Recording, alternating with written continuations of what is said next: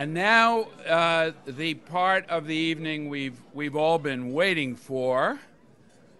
Uh, first of all, let me assure you, you will not be deprived of dessert. Dessert is going to be served quietly and surreptitiously while we listen to our next speaker. Uh, and uh, it is my great pleasure to be the person who's going to introduce Paul Samuelson. Uh, not, not all great scientists are also great teachers. Einstein was a great scientist, but he relied on others to explain his scientific theories to beginners and to non physicists. Paul Samuelson, however, is universally recognized as both a great scientist, in my judgment, the greatest living economist, and a great teacher. The greatest teachers have two traits in common they have a passion for their subject, and they take pleasure in sharing their, no- their knowledge with the broadest possible audience. Even before he became the first American to receive the Nobel Prize in economic science, Paul Samuelson became famous as the author of the leading introductory textbook in economics, aptly entitled Economics.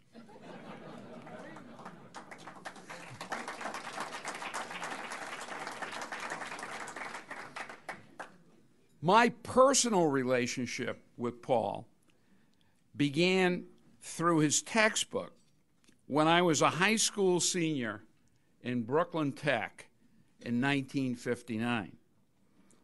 Uh, I don't recall which edition we studied, but since the first edition was published in 1948, uh, my guess is that mine was the third or fourth. Anyone who reads Samuelson's textbook comes away feeling familiar with the author. The congeniality and the wit shine through its pages. The writing style is casual, yet very precise. In 1998, on the 50th anniversary of Samuelson's uh, Economics, McGraw Hill, the publisher, published a reprint of the first edition. I got a copy and read through it for the first time. I was amazed to discover that it contained far more practical personal economics career choice, personal investing, Then the subsequent editions that I had studied myself in high school and then taught later as a professor of economics. I think it is fair to say that with each edition, more and more of the personal economics was dropped and replaced with more on government economic policy and the technical models used to analyze government policy. Perhaps Paul can tell us why. My guess is that econ professors, who are the ones, after all, who choose the textbooks, wanted to teach more technical economics in the introductory course, so the more practical material was crowded out. Paul's range of published work is by no means confined to his textbook and his articles in scholarly journals. He takes delight in writing for the interested layman. For several years in the 1970s, he wrote a column for Newsweek magazine. How many of you used to read that?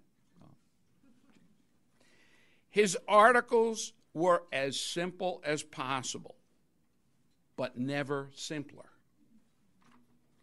He once wrote a column using only one syllable words. And it was about finance. That's correct. finance in one syllable. A recurring topic, topic in these Newsweek columns was what economic science tells us about how to invest. He was an early and steady advocate of index funds as a low cost, efficient method of investing in a diversified portfolio. He has consistently warned against believing the mistaken proposition that in the long run, stocks are sure to beat bonds. There is no one more suited than Paul to open a conference devoted to the application of economic science to improving the practice of life cycle saving and investing. I give you Paul Samuels.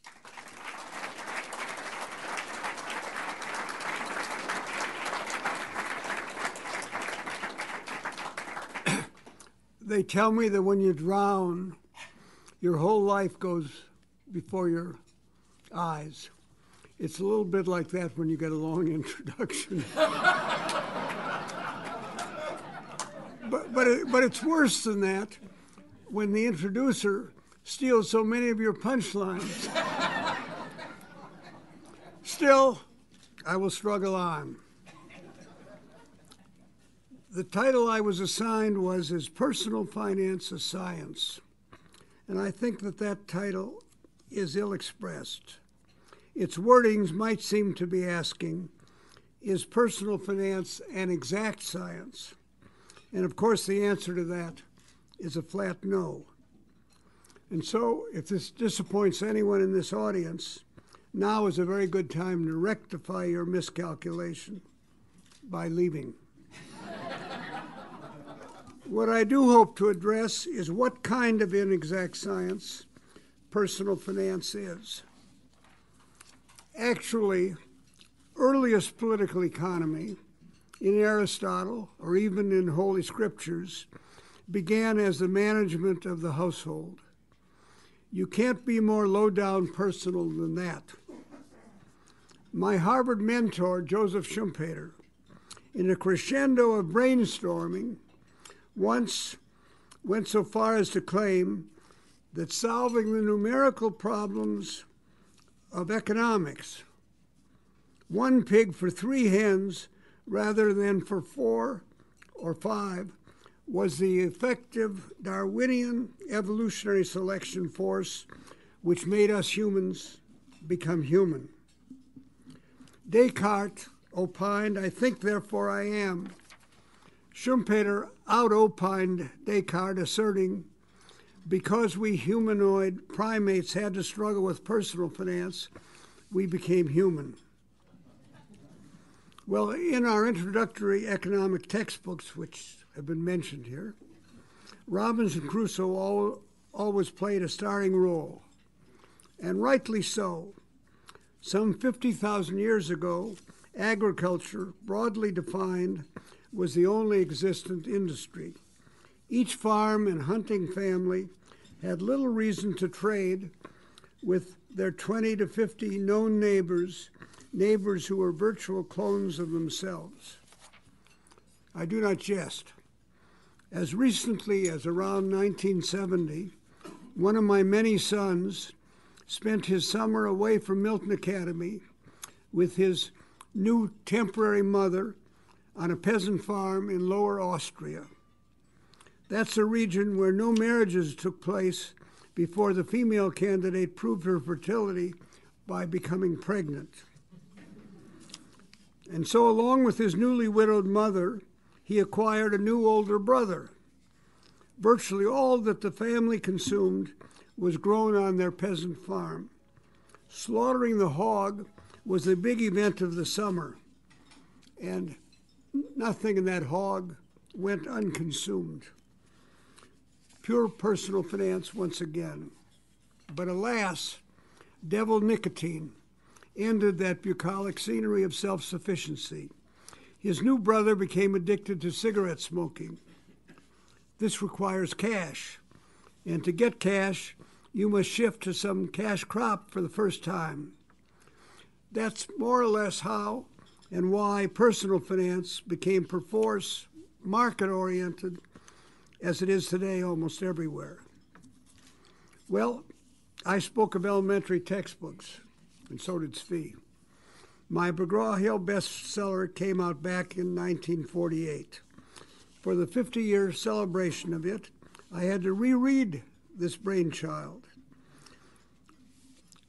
It, when Samuel Johnson uh, re- reread his failed play Irene, he said, Alas, I thought it had been better. mine, was the, mine was the opposite reaction. God, how good this this was. I discovered that apparently mine was the first primer ever to devote a full chapter to personal finance. Series E savings bonds, diversified mutual funds, how much more sons in law earned who are doctors and lawyers than clergymen, dishwashers, cab drivers, or stenographers. Human capital. I never got a Nobel Prize for it. Fifty years later, I was pleasantly surprised to read. You know, this is a boasting uh, lecture. I was pleasantly surprised to reread in the new facsimile edition of that 1948 original much like the following words. This is a paraphrase. Of course, America's post 1935 Social Security system, whose creation I was in on, which was formulated deliberately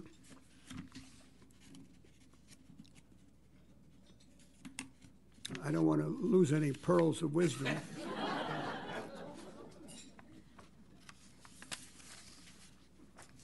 In Depression times to intentionally discourage savings and to coax into retirement job hoggers. Of course, that will have to be abandoned in the future as a pay as you go non actuarial financial system. Such systems begin with seductively favorable pension rates that are transitional only and must mandate stiffer contributions in future stationary or declining demographic states. 1948, not, not too bad. Hold the applause. this was apparently one of my first initiations into overlapping generation economics. You might even say that in my small way, I was then being John the Baptist to latter day Larry Kotlikoff who is known deservedly around Central Square as Mr. Generational Accounting. Life cycle finance a la Franco Modigliani recognizes that as mammals, we all do begin with a free lunch. As mortals, we are all going to die. But prior to that event, with few exceptions, we'll need to be supported in retirement years by personal finance. And as we used to think before Reagan and the two Bushes, old age pensions might come partly out of Social Security public finance. My brief words here will focus on personal life cycle finance. That is a domain full of shucks, shucks, ordinary common sense. Alas, common sense is not quite the same thing as good sense. Good sense in these esoteric puzzles is hard, apparently, to come by. Here's a recent example life cycle retirement mutual funds are one current rage. Fund A is for the youngster in this audience who will be retiring in 2042. I suppose that's our Federal Reserve chairman. Call, call her A.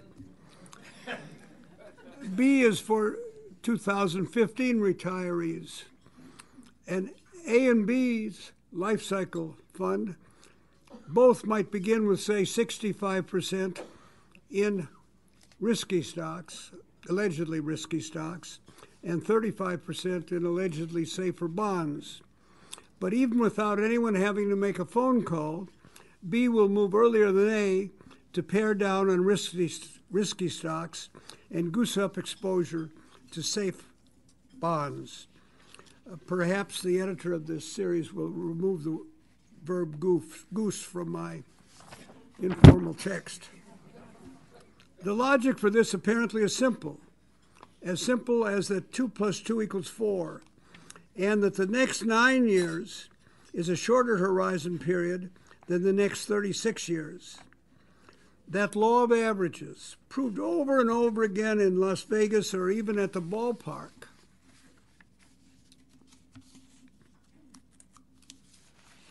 tells us, allegedly tells us, that riskiness for a pooled sample of, say, 36 items is only half what it is for a pooled sample of only nine horizons. The well known square root of n verity, or the not so well known square root of n fallacy. Now, Milton Friedman is assuredly no dummy. Just ask him. Maybe he'd recall from his course in statistics that the ratio of square root of 9 to the ratio to square root of 36 measures how less risky stocks are in the sense that the long horizon portfolio endures only half the stock riskiness of the short horizon portfolio. You can see I've been paid by Zvi Bodie to spread, spread his poison. But don't copy down my fuzzy arithmetic. It's only blue smoke, sound and fury, signifying nothing. Actually, I have three triplet sons. That's the only true part of the story I'm about to say. I'll call them Tom, Dick, and Harry to protect their privacy. All three are risk averse chips off the old block. They're very risk averse with their money, but they weren't that way with my money. This means that unless the mean gains of a portfolio exceeds its mean loss, they'll avoid such an investment. However, Tom is less paranoid than Dick, while Harry is even more risk averse than Dick. Nevertheless, this is all lies. All three will shun life cycle funds. For each of their 25 years until retirement, each will hold constant the fractional weight of risky equities. Tom's constant is three quarters equities, one quarter bonds. Dick's is half and half. Suspicious Harry stands at only one quarter. By the way, it would be better to make that suspicious Harriet, but the president of Harvard got in a lot of trouble with, with that kind of conjecture nothing is off the record these days. How do I know that? Because in my family, we eat our own cooking. Also a lie. I have written 70, 11 learned papers denying that the correct law of large numbers vindicates the common sense erroneous notion about risk of erosion when investment horizons grow from 1 to 10 or from 100 to 10,000. Now, if you think I just criticize the idiots who belong to behavioral science, you, you, you underestimate me. I criticize the pure mathematicians from Berkeley and Bell Labs who say that's wrong. What you should do is you should maximize the rate of growth of a portfolio and you should behave like a geometric mean maximizers. And I've written 9011 papers uh, controverting that view. Well, mine has been the Lord's work, but it has brought me no second Nobel Prize. He complained, complained, complained. But even when I go to write articles using only one syllable words to rebut the many pure mathematicians who believe that all of the, us should seek only to maximize our portfolio's long-time growths, uh, I'm like Roger Dangerfield. I get no respect and I get no converts. My doctrine is applied math is too important to be left to pure math types, and also too important to be left to idiots. I console myself, though, by repeating over and over Mark Twain's wisdom. Hold your breath. You think he's just a humorist. You know, in kindergarten, I was not very good in separating pages. Quote, you will never correct by logic a man's error if that error did not get into his mind by logic. By the way, we should put that in the plural and, and make it gender free. Uh, it would apply. Well, with Zvi Bodie on this program, I can hurry on to new personal finance topics. Surprisingly, housing will be one of them. Why housing in a personal finance seminar? Life cycle personal finance seminar. I'll leave it to Yale's Bob Shiller or Wellesley's Chip Case, but not before articulating my 1958 point on overlapping generations that money aside, people's homes are an ideal contrivance for converting working age savings into retirement day savings. I even wrote an unsuccessful foreword for a little book on the uh, uh, the uh, disappearing mortgage. Uh, Reva Poor's uh, book, uh, A Good Cause That Never Got Very Far. It was ahead of its time. Well, President George Bush has advocated, so far unsuccessfully, that those of us covered by Social Security should be allowed to transfer into our own accounts our fair share of what's been paid into the public fund on our account. That way, the I'm quoting uh, the long term sure thing surplus yield of common stocks over bonds can be a wind at our back, augmenting our golden years of retirement. Besides, his words, it's our money, not the government's. Well, don't shoot the piano player. I'm only quoting from White House handouts. I'm not a prophet. I can't guarantee for you that risk corrected stocks will outperform bonds from 2006 to 2050. However, if the U.S. electorate wants to drink from that whiskey bottle and bet on that view, private accounts are not the efficient way to implement it. Ask MIT's Peter Diamond for sermons on this topic. A century of economic history about private and public financial markets strongly nominates one huge diversified index Social Security fund utilizing both stocks and bonds and both domestic and foreign holdings and that that will produce for the next generations better retirement pensions along with what's important better sleep at night. And one of its unique, often overlooked virtues is that beneficial mutual insurance reinsurance among adjacent generations becomes possible under that arrangement. Of course, this sensible, good sense sensible, not common sense sensible, proposal is too efficient ever to be adopted. To adopt it would free some millions of financial employees to transfer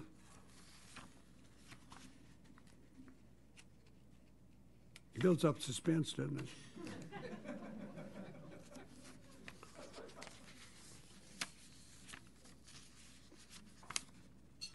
Man's work is never done. Transfer into useful plumbing, beer brew, brewing, or barbering. Never forget the old saw insurance is sold, not bought. People have been shocked, and I've testified before Congress about 50% loads on various guaranteed funds. And they, never realized since the beginning of time, every insurance salesman has always gotten at least 50% of the first year's uh, uh, premiums. Same goes for stocks, bonds, and lottery coupons. Plagiarizing Abraham Lincoln, I can say, God must love those common folk that behavior science economists write about because she made so many of them.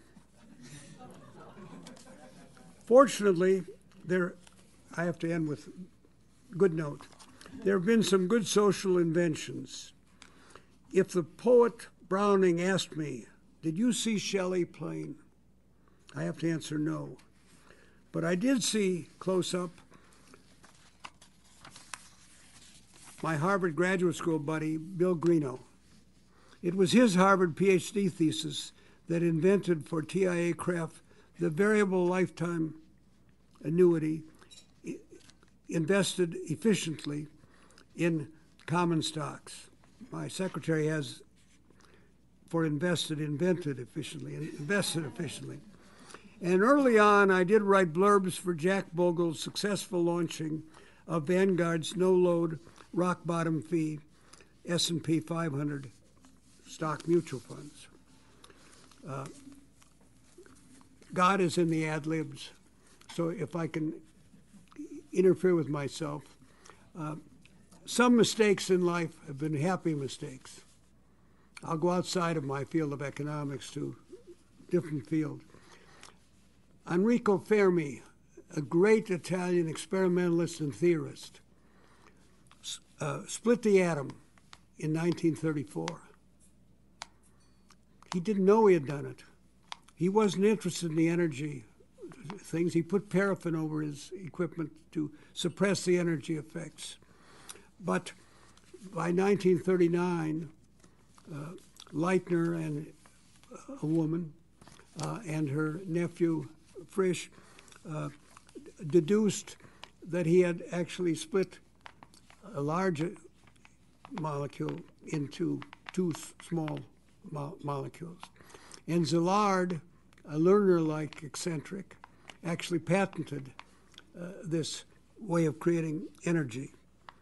Why do I say that was a happy mistake, this delay of five years?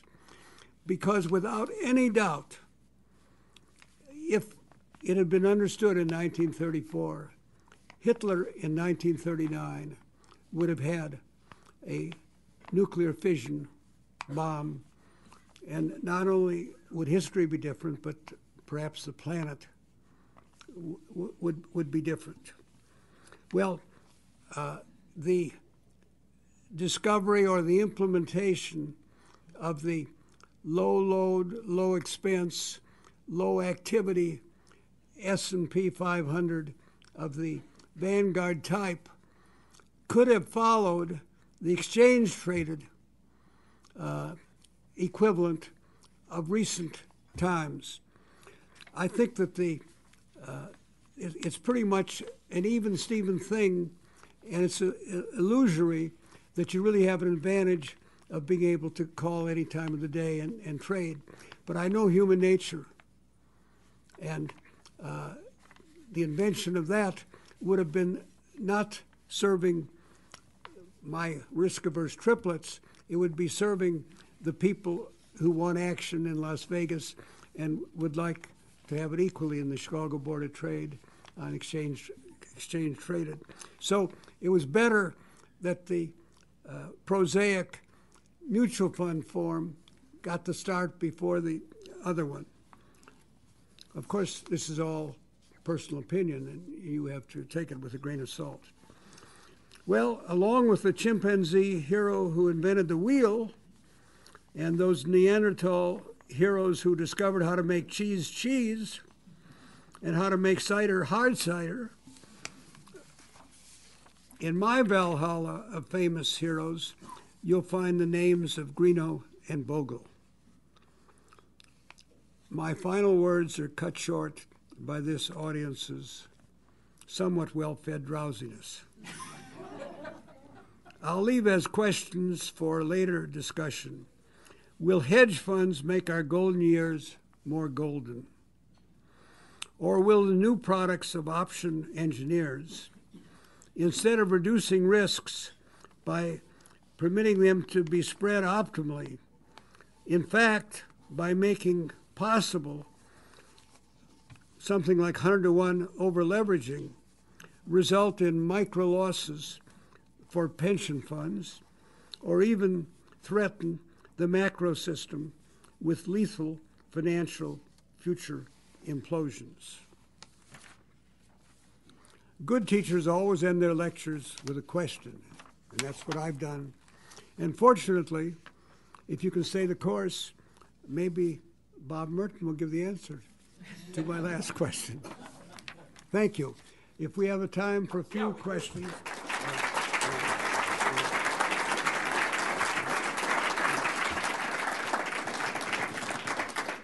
We definitely have some time for a few questions. Uh, do we have? Here's a mic. So if you have a question, raise your hand. Here we go.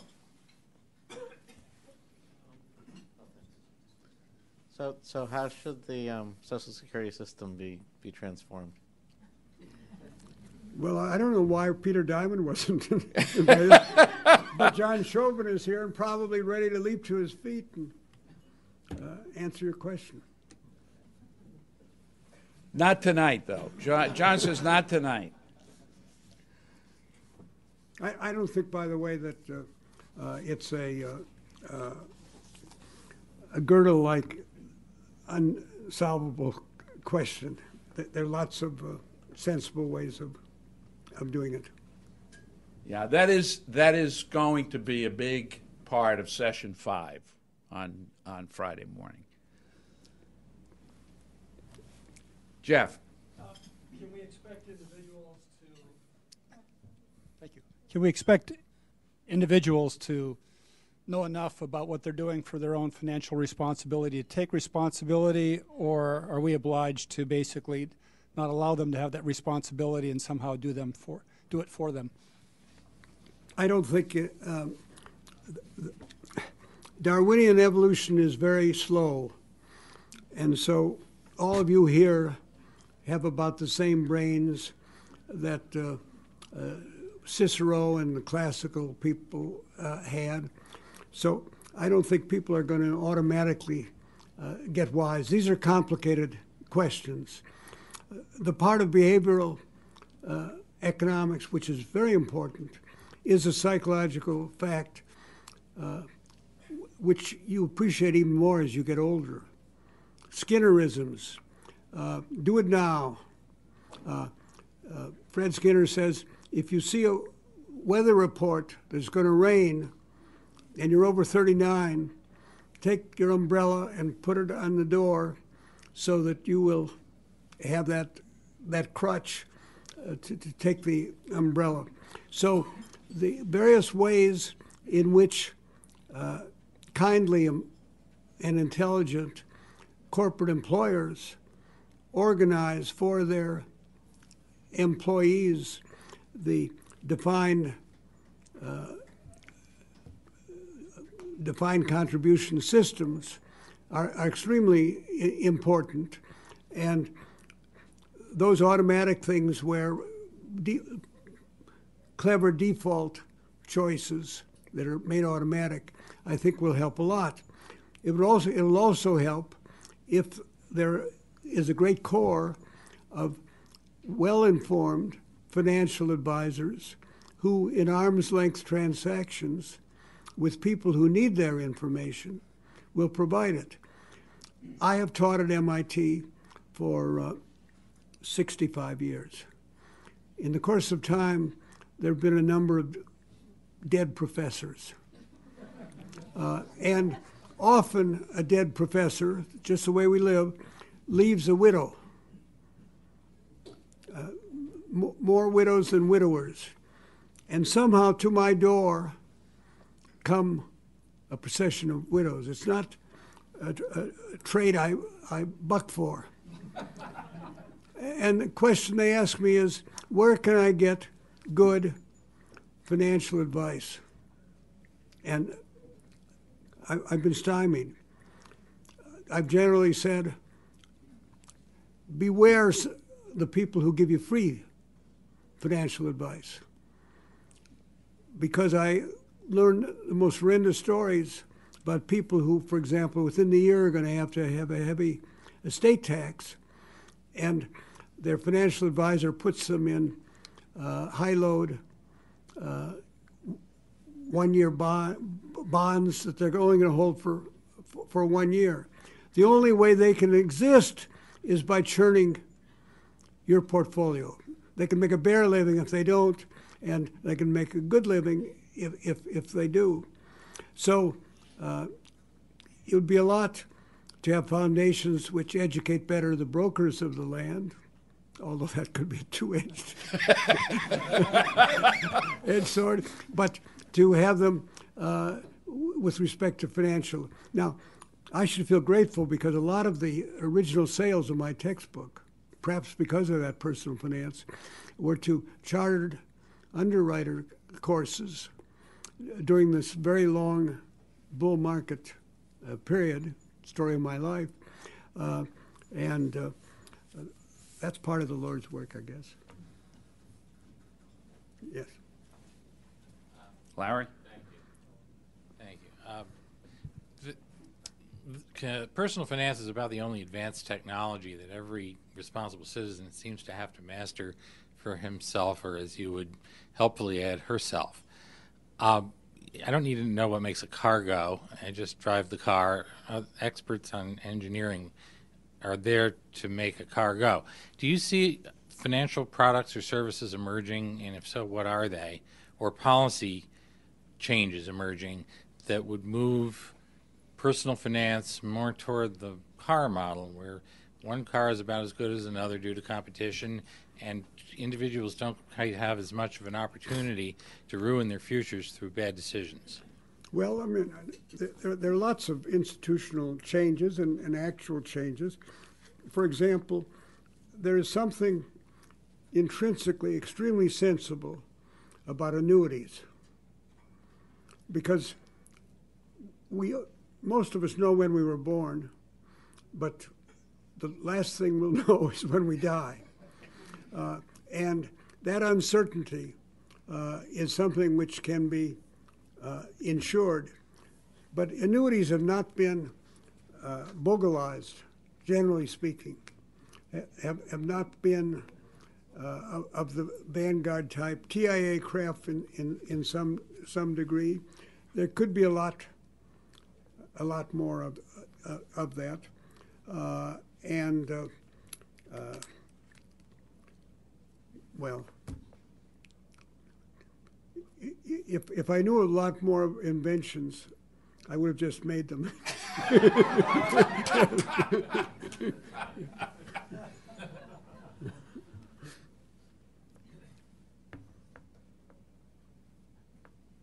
Okay, thank you very much.